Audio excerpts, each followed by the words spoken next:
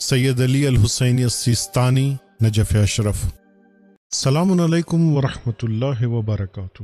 ماہ محرم اور کربلا کے دردناک واقعی کی یاد کے دن نزدیک ہیں۔ وہیں دوسری طرف وبا بھی تیزی سے پھیل رہی ہے اور محکمہ حفظان صحت کی رہنمائی کے مطابق بڑی گیدرنگ سے پرہیز کرنے کا کہا گیا ہے، خاص کر کسی بند جگہ پر۔ ایسے میں بہت سے مومنین ہیں جو آزاداری سید الشہدا کو برپا کرنا چاہ رہے ہیں۔ وہ پوچھ رہے ہیں کہ حضرت سید الشہدا اور ان کے اقربا انصار کی سوگواری و عزاداری کو کس طرح سے منایا جائے؟ اس سلسلے میں آپ رہنمائی فرمائیے۔ بسم اللہ الرحمن الرحیم۔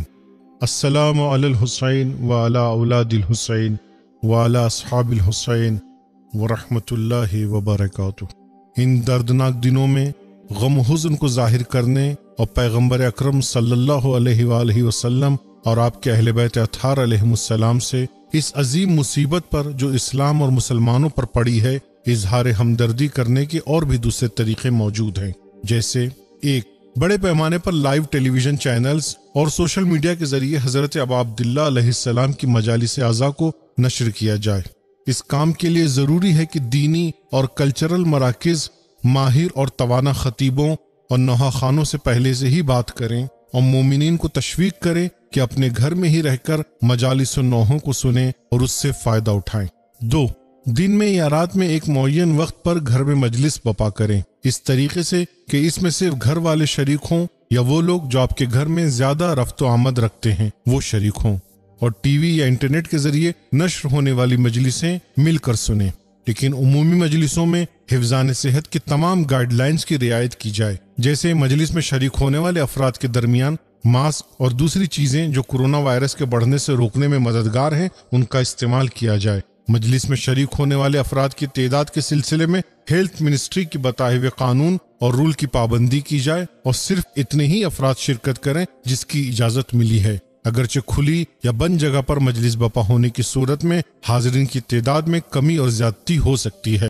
تین، عاشورہ سے متعلق چیزوں کو وسیع طور سے تقسیم کیا جائے اور سڑکوں، گلیوں، میدانوں اور کھلی جگہوں پر کالے پرچم لگائے جائیں، لیکن اس سلسلے میں پبلک پراپرٹی اور دوسرے کے مال کا خاص خیال رکھا جائے اور ملک کے قانون کو خصوصی طور سے فالو کیا جائے۔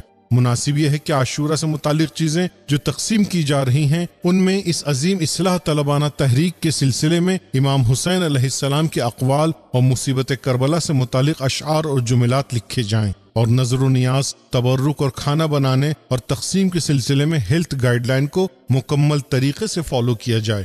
چاہے تبرک اور کھانا تقسیم کرتے وقت بھیڑ اور مجمع کو روکنے کے لیے صرف سوکھے تبرک تیار کیے جائیں اور انہیں مومنین کے گھر گھر پہنچوا دیا جائے۔ اللہ تعالی ہمیں اس موجودہ شرائط میں سید الشہدہ علیہ السلام کی عزداری برپا کرنے اور ان مناسبات کے احیاء کی توفیق عنایت کرے۔ انہوں ولی التوفیق۔